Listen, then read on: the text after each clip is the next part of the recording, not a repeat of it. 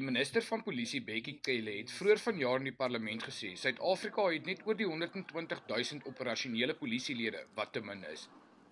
Die polisie wil vanjaar 5000 nuwe rekrute inneem en 500 oud lede werf.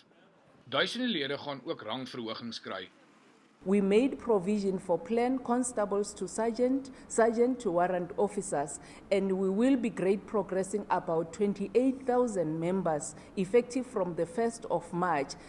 Dr Johan Burger, 'n voormalige generaal-majoor in die polisie, meen egter net desperate oud polisielede sal terugkeer.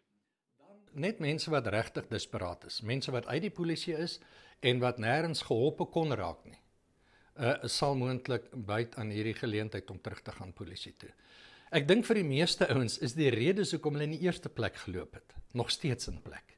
So daar is werklik geen motivering vir my om terug te gaan. As ek geloop het omdat ek nie gaan bevordering kry nie. Hoekom sal ek nou terugkom?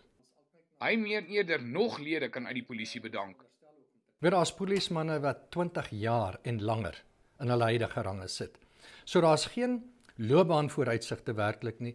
Daar is ook nie vordering in salaris. As jy nie in rang vorder nie, vorder jy ook nie in salaris nie.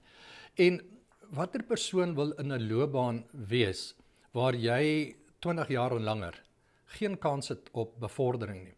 Gerard Pretorius, 1 nuus Pretoria.